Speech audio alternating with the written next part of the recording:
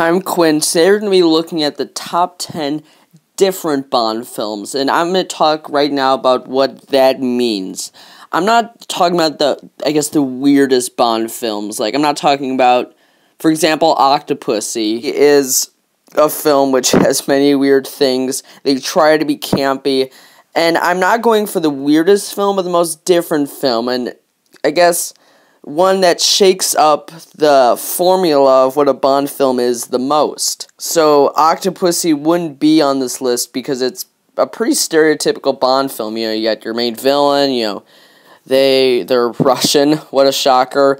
You know, just basic stuff like that. What I'm looking at is the top 10 films that shake up that formula the most. And I'm not giving much away when I'm saying Octopussy isn't on this list, but I just want to say that the weirdest film isn't necessarily going to be on this list and probably won't be on this list. Although some of these films can be argued as the weirdest or the most strange Bond films, I personally like it when they shake up the formula, and that's what I'm looking at today. Not all these films are my favorites, but I like what they try to do in each of these films, and that's what I'm going to be talking about today. So let's get into it with number 10. Number 10, I think most people would agree, is one of the most different films in the entire series, and that's Casino Royale. I think it's different for three distinct reasons. One is because in almost every Bond film, you have some sort of poker scene, but either they don't add anything to the story or they're not dramatic. But that is completely opposite for Casino Royale. Not only is it the main thing in the film, but it really shows that Bond doesn't just do it for, you know, the hell of it. He actually has skill in it, which is something that you actually never see in the entire franchise. The second thing is Bond falls in love, which I only think happens in one other film that's on Her Majesty's Secret Service, but we'll talk about that later. And the third thing is that it shows that Bond can be defeated in ways, and it shows his birth, if you will. Although that kind of happens in Doctor No, this really shows that Bond can be defeated when he loses in the poker match. And also show, shows that he isn't invincible, like when he, you know, gets tortured later in the film for actually winning the poker game in the end. And overall, I think it's a very different but well done film. Number 9 is a film where it's pretty obvious why it's different, and that's Moonraker. Although Bond does go to space in this film, which is something that never happens, and I do not think will ever happen again, there is also one other thing which I think people kind of forget in this film, and that is that Bond converts arguably the most dangerous male henchman in the entire series to the good side. A lot of people argue that it's when he meets his girlfriend that he turns to the good side, but I think it's truly because Roger Moore, yep, I'm calling him that, convinces him that it's in his best interest if he goes to the good side, and that's another thing which I find very interesting in this film.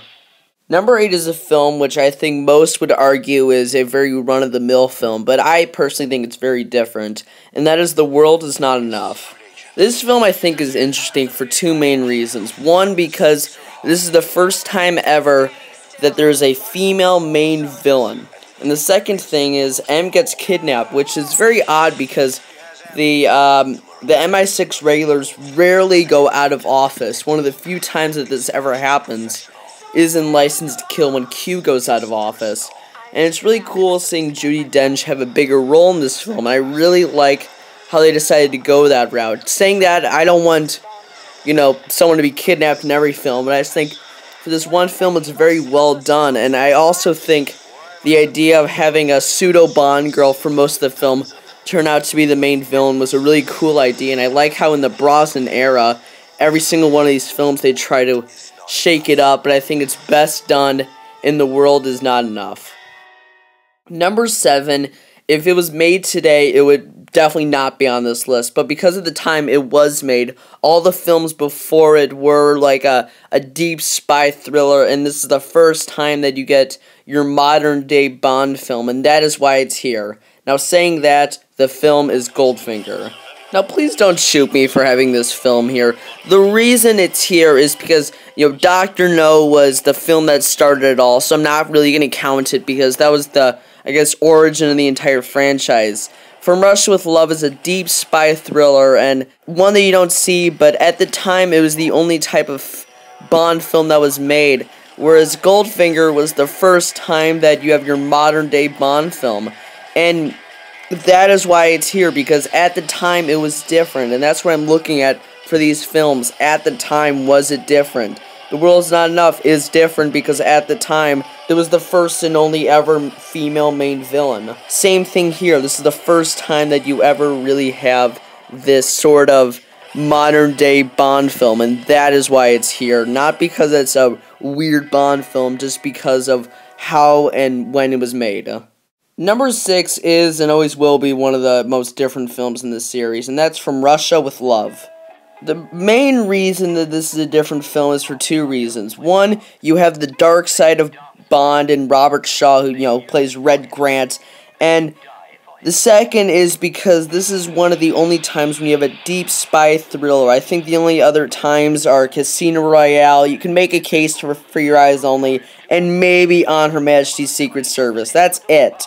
The dark side of Bond, I think, is done very well here, and although they repeated in The Man with the Golden Gun, Golden Goldeneye, I think this is a really the best form of it, and I just think it's so well done, and I think it all mashes together so well. But adding all those elements together, you get a really different film from the rest of the franchise. And although it's definitely a Bond film because it has Spectre and all that stuff, it's different because of how they incorporate those two main ideas. And although this is arguably my favorite film in the entire series, and indeed it will always be a top three film in my opinion. I just think that the inclusion of those two ideas make it different from most of the films in the series.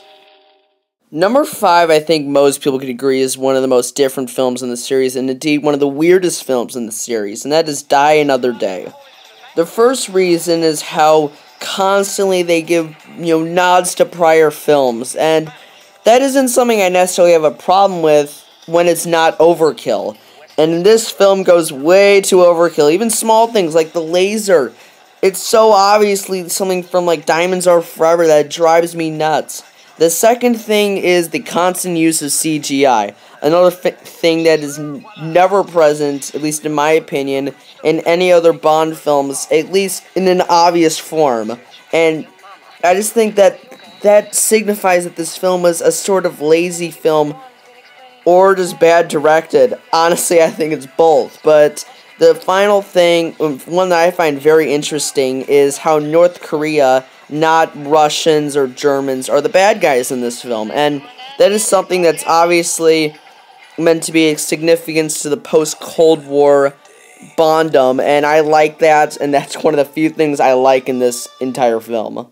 Number four, I think, is a film that is very well done because of how they incorporate these new ideas, and that is Skyfall. There's a few ideas in this film that make this film special, and the first is how they make Bond a tragic character, not, I guess, an epic hero, I guess if you could put it. And the reason I say that is because of how he for the first time since On Her Majesty's Secret Service, is not able to really save the person that he's trying to save, and how he fails his mission. I mean, his only mission was to keep M alive, and hell, it didn't work. The second thing is how they have an MI6 regular who isn't Bond be the main character in the film, and I think that is just such an awesome thing that they did. I love how they did that in The World's Not Enough, having M kidnapped, but having M as the main character of this film is so well done, and I just love how they decided to go that route with this film. I just think it's so smart. I just think how it's it really incorporates new ideas. I'm very curious to how they're gonna approach the next film. I'm curious to whether or not they're gonna use quantum again. And overall, I just think that this film incorporates so many great ideas that they could go any route with the next film. And I just think it's a great overall film. I'm so happy the director's coming back for the next film because this is a great film.